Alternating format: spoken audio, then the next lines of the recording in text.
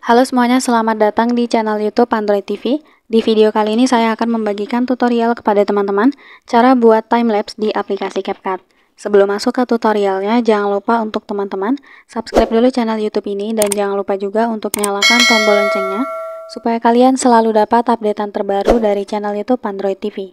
Oke, kalau gitu langsung saja kita masuk ke tutorialnya. Selain video ini, kalian juga bisa tonton video saya yang lain, yaitu tutorial cara hapus background video di CapCut. Untuk linknya bisa kalian klik di pojok kanan atas. Nah oke okay, teman-teman jadi video timelapse itu bisa dibilang video yang dipercepat ya. Nah jadi lebih cepat daripada video normal. Nah untuk teman-teman yang ingin buat video timelapse caranya langsung saja kita buka CapCut.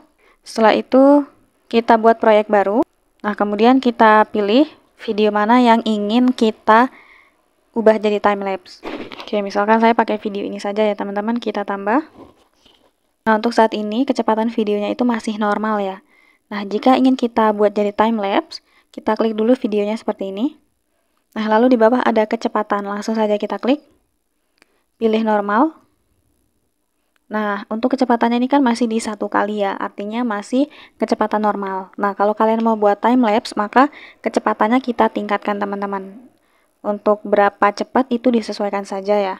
Misalkan di sini saya buat jadi 5 kali lebih cepat. Sudah, kita checklist. Lalu coba kita putar ya. Nah, lebih cepat ya teman-teman dari pada video awal. Nah, kalau mau dipercepat lagi, kita klik lagi yang normal, lalu ditambah. Misalkan saya buat 10 kali. Coba kita lihat. Nah, lebih cepat ya. Nah, intinya kalau untuk berapa cepatnya itu disesuaikan saja sama mood teman-teman ya. Oke, nah kalau sudah dipercepat, sudah pas e, percepatnya berapa, sekarang tinggal kita ekspor. Atau kalau memang mau diedit-edit lagi silakan. Ini tinggal kita ekspor ya teman-teman. Jadi caranya semudah itu untuk buat video timelapse di CapCut. Sekian dulu tutorial di video kali ini. Semoga tutorial yang saya bagikan bermanfaat dan selamat mencoba.